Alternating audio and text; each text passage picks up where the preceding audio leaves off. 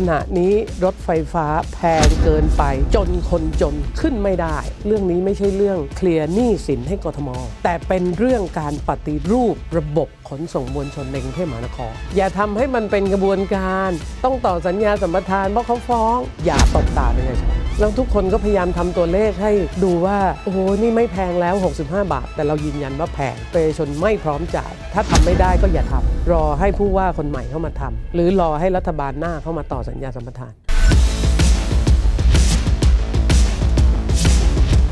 จากนโยบายของรัฐบาลที่ต้องการแก้ปัญหาการจราจรในกรุงเทพเนี่ยรัฐบาลมองรถไฟฟ้าเป็นบริการขนส่งมวลชน โจทย์มันจะอยู่ที่ว่า แล้วมวลชนจะขึ้นได้ยังไง ตัวเลขที่คนกรุงเทพขึ้นรถไฟฟ้าเนี่ย 2.86%ร้อยคนเนี่ยขึ้นรถไฟฟ้าไม่ถึง 3 คน ซึ่งมันน้อยมาก ไม่มีเหตุผลอื่นเลย นอกจากเรื่องราคา ขณะนี้รถไฟฟ้าแพงเกินไป จนคนจนขึ้นไม่ได้ เรามีบริการขนส่งมวลชนที่แพงที่สุดในโลก เพราะที่อื่นเนี่ยรถไฟฟ้าเนี่ยไม่ถึง 10%จีนเอ่ยสหรัฐอเมริกา ญี่ปุ่น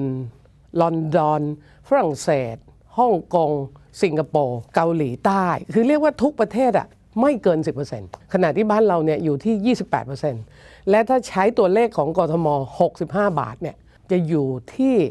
39%กว่าด้วย จริง ๆ พวกเราเสนอ 25 บาทเนี่ยยังเกิน 10%นะ ก็คือ 50 บาทไปกลับถูกไหม คุณขับรถยนต์คุณก็ทุกข์จากรถติด คุณใช้มอเตอร์ไซค์คุณก็เจอมลภาวะ แต่ขณะที่เรามีรถไฟฟ้าเรายืนมอง เพราะมันแพง อันนี้เป็นค่าใช้จ่ายที่สูงเกินไป จนทำให้คนกรุงเทพไม่มีคุณภาพชีวิตเลยในปัจจุบัน คนเนี่ยไม่มีใครเห็นด้วยกับเรื่อง 65 บาทของกรุงเทพมหานครเลย เราได้มีโอกาสไปเห็นตัวเลข 49 บาท 83 สตางค์ซึ่งเป็นตัวเลขของกระทรวงคมนาคม เราก็ทดลองมาคำนวณดู เราใช้ค่าเดินทางที่ 25 บาทนะคะ ซึ่งนั่นก็คือรายได้มันก็ลดลงครึ่งหนึ่ง เราก็พบว่ากทมเนี่ยก็ยังมีกำไร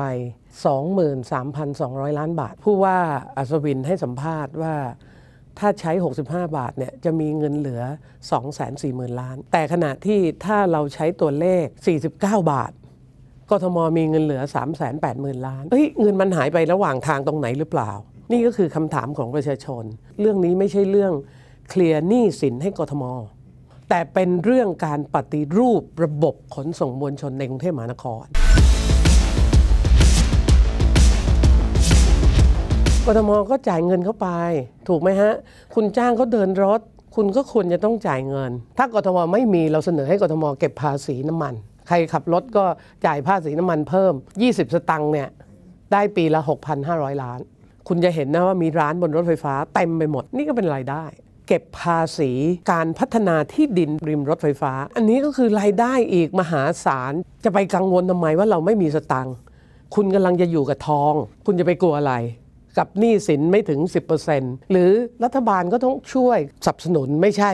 ช่วยแล้วทิ้งเลย ถ้ากทมบริหารเส้นนี้ 25 บาทไม่ได้เนี่ย เราคิดว่าถึงเวลาที่จะให้รัฐบาลกลาง หรือหน่วยงานใหม่มาบริหารขนส่งมวลชนในกรุงเทพมหานคร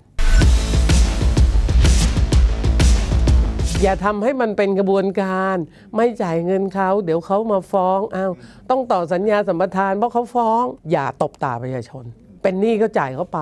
เราไม่เคยบอกว่าคุณจะไม่จ่ายหนี้ BTS นะ จ่ายเลยคุณเป็นหนี้คุณก็จ่ายเขาไป รัฐบาลนี้พูดเงินเป็นล้านล้านล้านล้านแสนแสนล้าน เพราะฉะนั้นสามหมื่นล้านสำหรับรัฐบาล และกทมเราคิดว่าเล็กน้อยมาก แล้วรัฐบาลมีหน้าที่ที่จะทำบริการขนส่งมวลชน มันคือ Public Goods แล้วทุกคนก็พยายามทำตัวเลขให้ดูว่า โอ้โหนี่ไม่แพงแล้ว 65 บาท แต่เรายืนยันว่าแพงประชาชนไม่พร้อมจ่าย ถ้าทำไม่ได้ก็อย่าทำ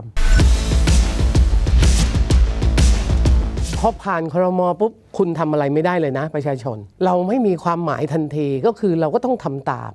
แล้วพอไปทำสัญญาสัมปทาน คุณไม่มีวันแก้สัญญาสัมปทานได้เลยประเทศนี้ ถ้าคุณจะแก้คุณก็เสียค่างโง่กรรมธิการ ถึงกับทำจดหมายไปถึงนายกรัฐมนตรีขอให้ชะลอการต่อสัญญาสัมปทาน จนกระทั่งกรรมธิการเนี่ยก็มีมติว่าถ้าคุณจะต่อสัญญาสัมปทานโดยที่ไม่เปิดเผยข้อมูลเนี่ยกรรมธิการขอคัดค้านทำไมเราถึงไม่ต้องรีบต่อ มันยังมีเวลา แล้วถ้าต่อแล้วแพงเราจะต่อไปทำอะไร คุณเห็นไหมฮะว่าเนี่ยมันสะท้อนความล้มเหลวของกระบวนการรัฐสภาในการตรวจสอบฝ่ายบริหารในปัจจุบัน